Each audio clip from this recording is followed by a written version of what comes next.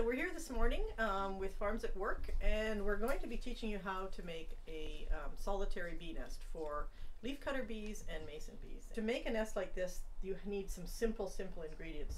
Baling twine, and you can get any kind of baling twine. Secateurs, you need those for cutting down the Phragmites. Scissors, so that you can cut the baling twine. Two elastic bands. And a garbage bag. And a garbage bag. And we'll show you why you need all these things, but these are the, the fancy tools that you need to make a um, bee nest. Phragmites is a very invasive plant. Um, it's a plant that you generally want to try and get rid of. And so right now I want to show you how to do it properly so that you actually don't spread Phragmites around. So she's cutting it as low to the ground as she possibly can. Before we make the nest, we've got to get rid of the seed heads. So these are the seed heads here.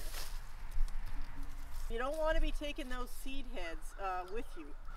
They need to go into the garbage and not be left behind. We've stripped off all the leaves off of all of these stems and now Beatrice and I are going to uh, trim them down to a size that's workable. Probably about this long.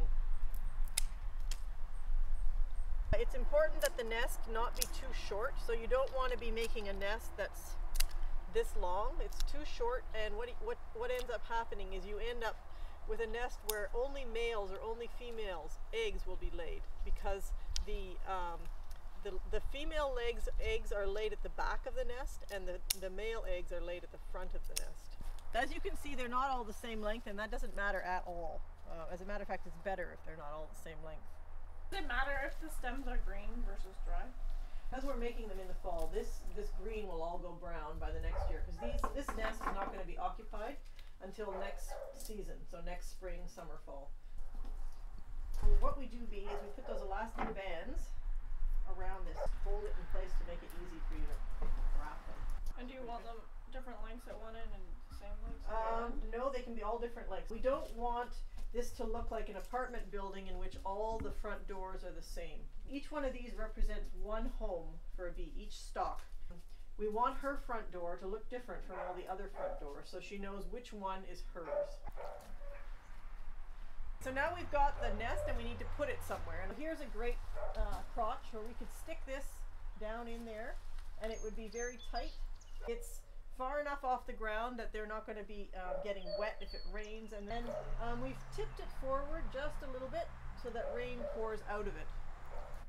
This is another thing you can use for a bee nest. And what they've done here is create the holes that we're creating with our straws. They've created them right in the wood. Now the problem with this kind of a nest is there's no way of cleaning it. And so what I do is I take these little Phragmites stems and I stick them in the holes. And you've got to, of course, get stems that will, will actually uh, fit. See how this little hole right here, that's got mud at the front entrance? That's because a mason bee has laid a whole bunch of eggs and between each egg she puts a wall of mud. And then this is the wall of mud on the very outside. So that's what you're going to see um, if a mason bee occupies those those Phragmites stems. You're going to see a mud block at the end of the Phragmites stem, and that'll make you know that you've got a bee living in there.